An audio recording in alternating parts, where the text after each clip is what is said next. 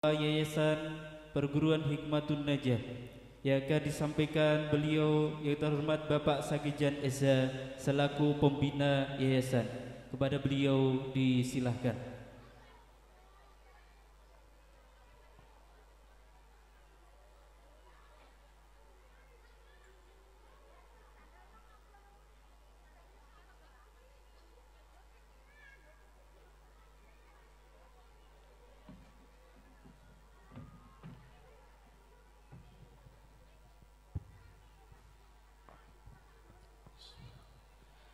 Assalamualaikum warahmatullahi wabarakatuh. Alhamdulillahirabbil alamin. Assalatu wassalamu ala asrofil anbiya'i wal mursalin Sayyidina wa mulana Muhammadin wa ala alihi wa sahbihi ajmain amma ba' Para sesepuh, bini sepuh, warga disandulukan ingkang tansah kula bekteni para alim, para ulama, para kiai, wabil khusus Mbah Hudori, Mbah Yaya ingkang tansah kula bekteni. Dumateng panjenenganipun tokoh masyarakat dalam hal niki Bapak Camat Japa, Pak Ketua MBC, Bapak Kapolsek atau yang mewakili, Bapak dan Ramil atau yang mewakili, ingkang tansah kula hormati, Bapak Kepala Desa berserta perangkatipun kang kula hormati ugi lembaga desa mulai LKMD, BPD beserta anggotanipun RT RW Desa Ndolokan Kang Tansa kula hormati ugi Bapak Ibu tamu undangan wali murid ingkang berbahagia. Salajengipun para pengurus yayasan Hikmatun Aja mulai dari ketua yayasan maupun pendidik, kepala MI, Kepala RA, Kepala KB, Kepala Madin, Kepala TPK ingkang tansah kaula banggaaken. Lan anak-anak siswa PAUD RA MI ingkang tansah kaula tersenani. Sepindah monggo sarangan muji syukur wonten ngersanipun Allah Subhanahu wa taala ing dinten menika ing kelenggahan menika kawula lan panjenengan sami saged pepanggihan makempal wonten acara Agurusana wonten yayasan Hikmatun Najah mugi mugi-mugi tansah pikantuk barokah Gusti Allah. Allahumma amin. Salajengipun selawat sarta salam mugi kunjuk wonten ngarsanipun junjungan kita Nabi Agung Nabi Muhammad sallallahu alaihi wasallam Mugi-mugi kita sedaya saged kadaktu dados umatipun lan kita tenggo-tenggo sapatipun wonten ing yaumul kiamah. Sepindah kawula ngaturaken matur nuwun sanget. Dumateng Bapak Ibu warga Desa Ndolokan. Dumateng pengurus Yayasan Hikmatun Aja.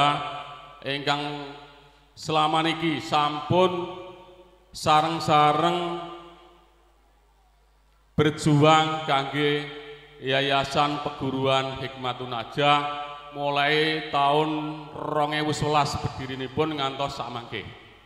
Dados Yayasan Hikmatun Aja sing sampun kala wau dipun aturaken dening Mas Partono pertama inggih menika ingkang wonten niku nembe MI disusul RA disusul Madin, TPK lan KB. Alhamdulillah atas kerja sama yang panjenengan sedoyo warga masyarakat, tokoh masyarakat lan wau sampun dingendikake dening Pak Lurah. Sing sampun wakafke tanah, wakafke rumah demi kangge kelancaranipun Yayasan Hikmatun Najah nggih menika wonten ing perguruan Hikmatun Aja ingkang teng mriki menika wonten ing pendidikan MI, RA maupun KB. Alhamdulillah jeripaya panjenengan sedaya mulai mungkin rancangan pun riyen mulai mungkin tahun 2010 Pak Camat dados ngantos sakmangke sampun ketinggal. Sing sawaunipun waktu ngajari MI pertama mungkin itu tesih mondok-mondok wonten daleme tiang ingkang wonten sekitaripun lokasi menika. Alhamdulillah sakniki ora ketang kaya apa kaya apa pun gadah gedung piyambak.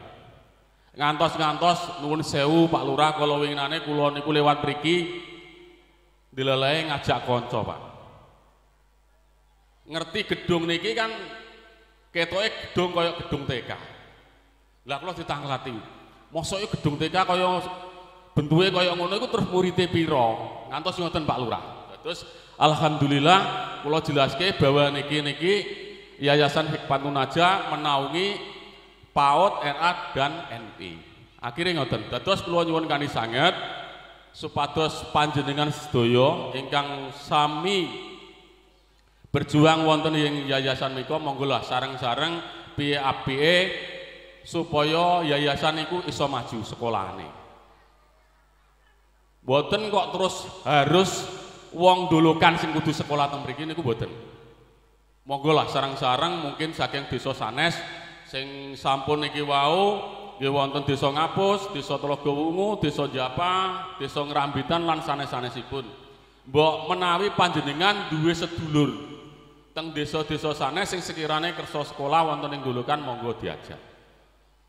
Karena dewau sampun dijelaske kali bapak pendidik atau ibu pendidik bahwa pendidikannya teng Yayasan Ikmatun Aja niku mboten namung keagamaan sarasan.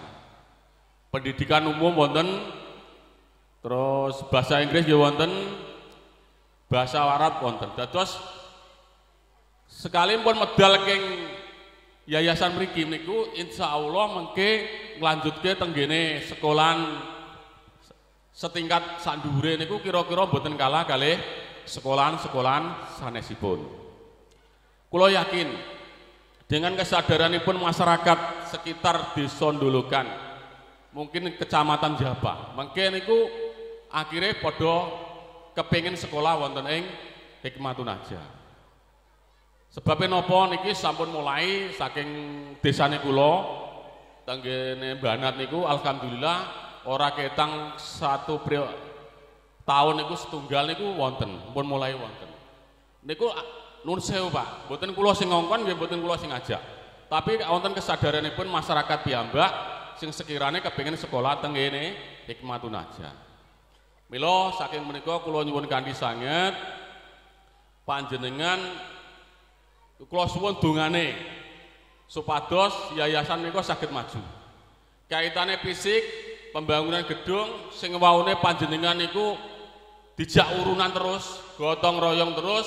Alhamdulillah selama tiga tahun niki, empat tahun ajeng niku pun boten. Paling-paling dijak mikir iki piye carane supaya gedung iki dadi. Alhamdulillah hampir empat tahun ini pikanto bantuan terus. Lan insya Allah tahun ini di tahun perubahan mangke niku pikanto meleh mugi-mugi saged nutuke sing niki nembe tingkat setunggal mangke saged nutuke tingkat kali. Kersane M ini sing teng mriki niki teng sekolahan sing mriki kersane tiga lokal. Niki nembih kali lokal. Milo kula nyuwun kanthi sanget dukungan panjenengan sedaya mugi-mugi kedepane Yayasan Perguruan Hikmatun Najah niku saged maju. Boten mandek tenggene MI Sarasan. Kula nyuwun dongane panjenengan sedaya dukunganipun Pak Kades Pak Camat Pak Ketua MMJ MBC yo muga-muga nang kene engko perguruan Hikmatun Najah itu di pondok pesantren.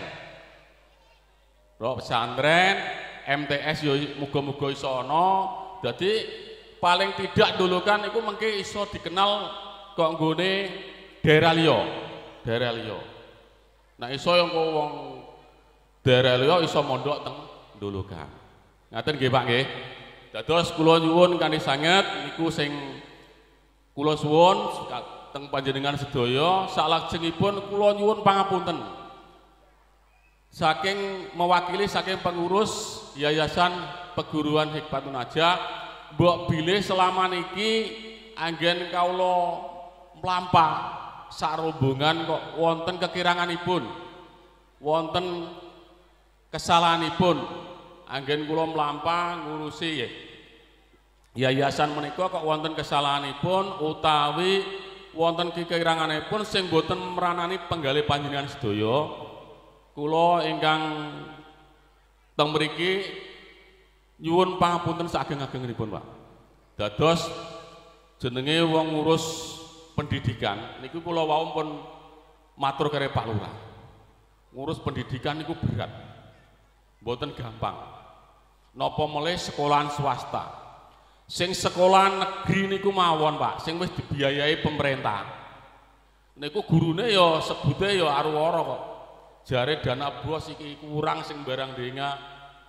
Kula nggih nuwun sewu Pak Camat nggih dikeluh kesae kali guru-guru sing guru wis pegawai negeri, sekolahane negeri kadang keluh kesah teng kene kula. Padahal niku nuwun sewu nggih Pak nggih. Sekolah negeri niku wis dibiayai pemerintah, pegawene anu gurune ya wis digaji karo pemerintah. Niku ae izin dikeluh kesah sing kaya ngono. Apa meneh sing sekolahan swasta? Gurune sing biayai ya yayasan, mbah oleh dhuwit kok ndi ya ora ro. Sing biayai operasionale sedaya nggih saking yayasan. Niku mawon nuwun sewu kok ya iso gratisno seragam barang lho sing emi. Iku le dhuwit kondi kan panjenengan mesti iki mesti untuk dhuwit kok nggone pemerintah. Pasti prasangkane panjenengan ngoten. Sak benernya nggih sami. Teng sekolah negeri nggih ngeten Bapak Ibu. Cuman nah sekolah negeri ngoten niku nggih sewu mungkin biaya operasionalnya pun beda. Nah tenggene ya, yayasan utawi sekolahan swasta itu biasanya dirit-irit. Mbah bicarane penting cukup. Ngaten nggih. Dados mungkin iku ingkang saged kula aturaken nggih niku wau kula sak pengurus yayasan iki nyuwun pangapunten mbok bilih wonten klentah-klentune. Terus kula nyuwun dongane panjenengan sedaya pengurus yayasan monggolah kita bareng-bareng piye supaya yayasan iki saged maju. Kala rumiyin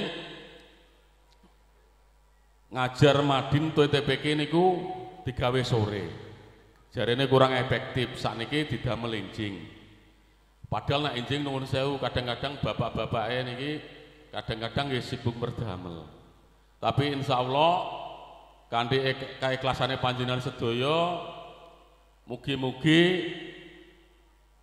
panjenengan secara sukarelawan guru madin guru TPK ini nggih mboten untuk bayaran mungkin Pak Camat nggih perso piyambak Pak Ketua MBC yo ngerti biasanya bayarannya guru madin itu mboten sasen Bapak Ibu setahun pisan iku ae mbah entuke pira aku yo gak ro Nak kula ngertine anu Pak Camat, ngertine glundungan sak kabupaten sementen ngoten niku ro.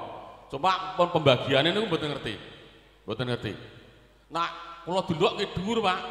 Kala wingi tahun tahun 2023 niku 5 miliar kanggo guru Madin, guru TPK niku, Pak. Tapi kanggo sak kabupaten Bluro. Dadine umane pira kula mboten ro. Nak DPR niku ngertine anggaran glundungan. Mungkin anggarannya Pak Camat pomo 600 juta. Ya 600 juta niku ngertos kula kanggone napa mboten ro.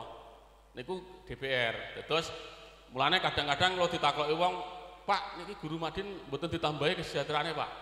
Aku gak ngerti nak soal iku kula ngoten. Roe kula niku glundungan. Pama didum wong lima nggih lumayan kula ngoten. Tapi iki wong sak kabupaten e. Ten nggih. Nggih nuwun sewu Bapak Ibu wedale pun dalu niki pun ditenggo-tenggo. Kula cekapi semanten mbok bilih wonten tutur kata ingkang kurang berkenan, kula menungso lumrah, kula sarombongan pengurus Yayasan Perguruan Hikmatun Najah nyuwun pangapunten ingkang saageng-agengipun. Wabillahi taufik wal hidayah. Wassalamualaikum warahmatullahi wabarakatuh.